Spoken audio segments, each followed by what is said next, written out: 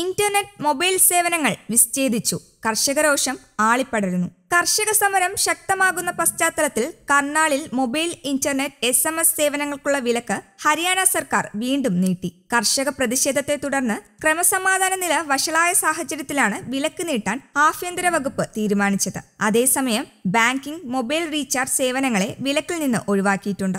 ആഭ്യന്തര വകുപ്പ് additional chief secretary Rajeev അറോറയാണ് ഇത് സംബന്ധിച്ച് ഉത്തരവിറക്കിയത്. ഓഗസ്റ്റ് ഇരുപത്തെട്ടിന് കർഷകരെ ക്രൂരമായ ലാത്തി ചാർജിന് ഇരയാക്കിയ പോലീസ് ഉദ്യോഗസ്ഥർക്കെതിരെ നടപടി ആവശ്യപ്പെട്ടാണ് കർഷക നേതാവ് രാകേഷ് ടിക്കായത്തിന്റെ നേതൃത്വത്തിൽ ഹരിയാനയിലെയും പഞ്ചാബിലെയും കർഷകർ അനിശ്ചിതകാല ഉപരോധത്തിനിറങ്ങിയത്.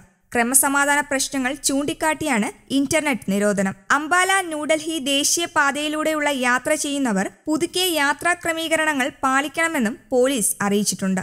അതേസമയം ബി ജെ പിക്കെതിരെ നിലപാട് കടുപ്പിച്ച് കർഷകർ. കേന്ദ്ര സർക്കാരിന്റെ കർഷക വിരുദ്ധ നയങ്ങളിൽ പ്രതിഷേധം കടുപ്പിച്ച് പതിനായിരങ്ങളാണ് തെരുവിലിറങ്ങിയത്. ഉത്തർപ്രദേശിൽ നിയമസഭാ തെരഞ്ഞെടുപ്പിൽ ബി ജെ പിക്കെതിരെ പ്രചാരണത്തിനിറങ്ങുന്നതടക്കമുള്ള നിർണായക തീരുമാനങ്ങളാണ് കർഷകർ ഇതിനകം കൈക്കൊണ്ടിട്ടുള്ളത്. കർഷക വിരുദ്ധ നയം തുടരുന്ന ബി ജെ പി സർക്കാരുകളെ താഴെ ഇറക്കുന്നതുവരെ പ്രക്ഷോഭം തുടരുമെന്നും മുന്നറിയിപ്പുണ്ട്. കർഷക ആവശ്യങ്ങൾക്ക് ചെവി കൊടുത്തിട്ടില്ലെങ്കിൽ തിരഞ്ഞെടുപ്പിൽ നേരിട്ടിറങ്ങി തിരിച്ചടി നൽകാനാണ് കർഷകർ തീരുമാനിച്ചിരിക്കുന്നത്. ആവശ്യങ്ങൾ അംഗീകരിച്ചില്ലെങ്കിൽ അടുത്ത വർഷം നടക്കുന്ന യു പി ഉത്തരാഖണ്ഡ് തെരഞ്ഞെടുപ്പുകളിൽ ബി ജെ പിക്കെതിരെ പ്രചാരണത്തിനിറങ്ങുമെന്ന് കർഷക നേതാക്കൾ വ്യക്തമാക്കി. News desk Kerala Kaumudi.